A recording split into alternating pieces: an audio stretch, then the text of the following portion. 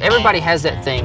It's that thing that you're super, super passionate about and you have that true love for and that you eat, sleep, and breathe it. That's that thing that makes you the expert.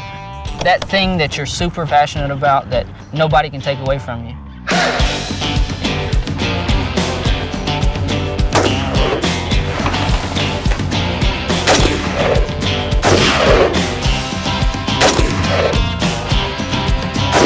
There it is. Yeah.